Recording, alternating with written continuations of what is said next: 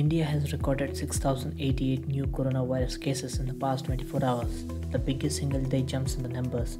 Health Ministry data showed this morning, with 148 deaths reported in the same period. This takes the total number of cases to 1.18 lakhs and total deaths to 3,583. Here are the top points of this big story. The Maharashtra government has taken control of 80% of all private hospital beds in the state till August 31st as it tackles a rising COVID 19 case count and complaints of exorbitant rates.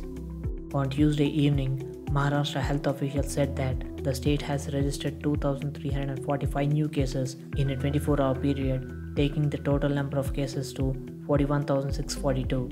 Mumbai, the worst affected metro city, crossed 25,000 case mark at the same time with 1,382 new cases.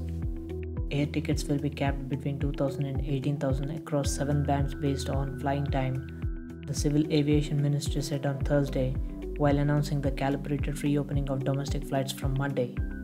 Passengers disembarking from short haul domestic flights need not to go into quarantine, Civil Aviation Minister Hardeep Singh Puri said yesterday.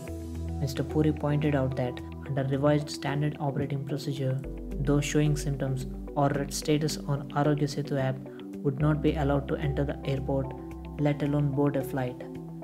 The railways will open reservation counters at selected stations from today for booking of only reserved tickets, the national transporter said in a statement. Railway Minister Piyush Goyal has also said that more passenger trains will be allowed to run soon. This comes after 200 regular passenger trains were scheduled to operate from June 1st. Class 10 and 12 board exams have been granted exemption from lockdown measures and these can be conducted, Home Minister Amit Shah said on Wednesday, adding that special buses for students will be arranged by respective state governments. Global COVID-19 cases have crossed 5 million mark with Latin America overtaking the US and Europe to report the largest number of new daily cases. It represents a new phase in the virus spread which peaked in China in February before outbreaks in Europe and the US.